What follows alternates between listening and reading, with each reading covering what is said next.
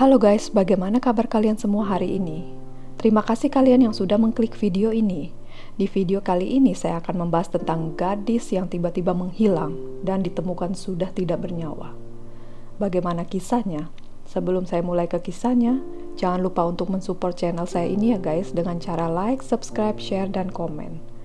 Oke, tanpa basa-basi lagi kita mulai saja ke kisahnya.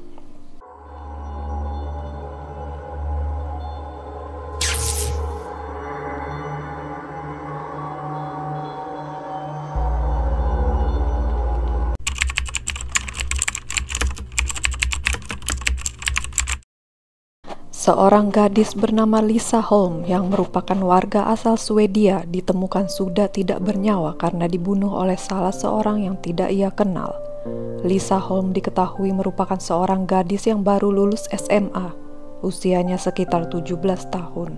Lisa Holm kemudian memutuskan untuk bekerja di salah satu kafe. Kafe tersebut berjarak sekitar 40 menit dari rumahnya di daerah Blomberg, Swedia. Untuk merayakan hari kelulusannya, Lisa Holm diberikan hadiah motor metik oleh ayahnya. Motor tersebut kemudian ia gunakan untuk berangkat ke kafe tempat ia bekerja. Saat Lisa berangkat ke tempat kerja, Lisa diantar oleh ayahnya dengan menggunakan transportasi yang berbeda. Ayah Lisa mengikuti Lisa dari belakang dengan menggunakan mobil. Tepat pada tanggal 7 Juni tahun 2015, ayah Lisa tidak lagi mengikuti anaknya pergi bekerja di kafe. Lisa pada saat itu berangkat sendiri dengan menggunakan motor metik pemberian dari ayahnya.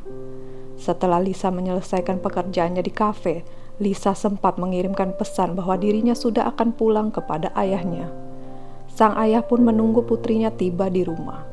Selang beberapa jam menunggu, Lisa tak kunjung tiba di rumah. Ayahnya yang khawatir akhirnya langsung menuju ke kafe tempat Lisa bekerja. Setelah sampai di kafe, ternyata kafe tempat Lisa bekerja sudah tutup. Di luar kafe, ayah Lisa menemukan motor anaknya dengan kunci motor yang masih menancap. Di kafe tersebut juga sudah tidak ada orang sama sekali. Ayah Lisa kemudian mempunyai inisiatif untuk menelpon pemilik kafe dan teman-temannya untuk bertanya mengenai keberadaan Lisa.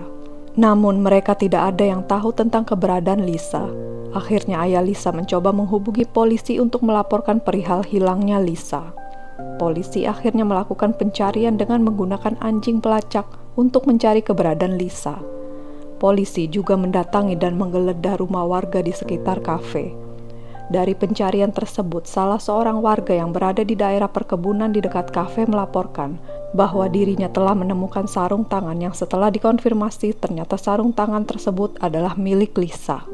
Pada tanggal 9 Juni 2015, polisi mengadakan konferensi pers yang meminta bantuan kepada warga Swedia yang mengetahui keberadaan Lisa.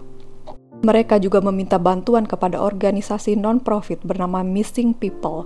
Dari pencarian tersebut, polisi menemukan handphone Lisa yang sudah rusak dan SIM card milik Lisa. Tepat pada tanggal 12 Juni, polisi dan orang dari Missing People mulai memetakan rumah yang sudah mereka geledah dan yang masih belum.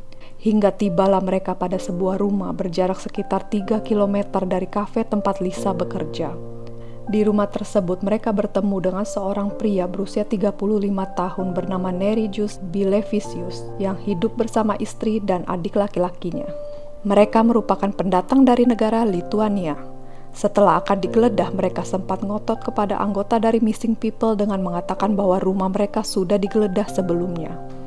Namun karena polisi dan organisasi Missing People telah memiliki data rumah warga yang sudah dan belum mereka geledah, Missing People akhirnya tetap memutuskan untuk menggeledah rumah mereka dengan memanggil polisi. Tepat di belakang rumah Nerijus, polisi menemukan jaket dan helmet milik Lisa.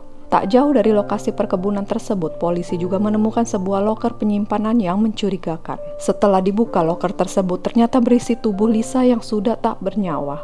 Di sekujur tubuh Lisa ada bekas luka yang cukup memprihatinkan. Setelah diselidiki, ternyata pelaku pembunuhan adalah Nerijus. Ia mengaku terinspirasi dari film bergenre pembunuhan. Ia mengaku menikmati ketika Lisa kesakitan saat dianiaya olehnya. Nerijus akhirnya dihukum seumur hidup dan dideportasi ke negara asalnya yaitu Lituania. Kasus penculikan Lisa ini menjadi kasus pencarian orang hilang yang melibatkan seribu orang dari missing people dan merupakan kasus pencarian orang hilang terbesar yang pernah dilakukan oleh organisasi Missing People.